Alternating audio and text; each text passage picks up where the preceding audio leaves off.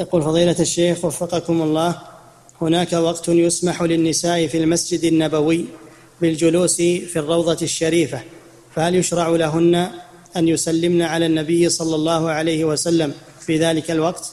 لا. لا ولا حدث هذا إلا قريبا. السماح للنساء ووضع رواق لهن هذا ما حدث إلا قريبا.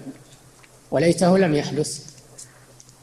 لأنه وسيلة إلى البدعة وسيلة إلى أنه يسلم على الرسول ويزورنه يكون هذا من البدعة لعن الله زوارات القبور متخذين عليها المساجد والسر. فليس هذا إيه، يعاد النظر فيه. ليس هذا الفعل يعاد النظر فيه. وهم لم يأخذوا بهذا فتوى من أهل العلم. إنما هذا تصرف من القائمين على المسجد النبوي. وقد أخطأوا في هذا بلا شك. نعم.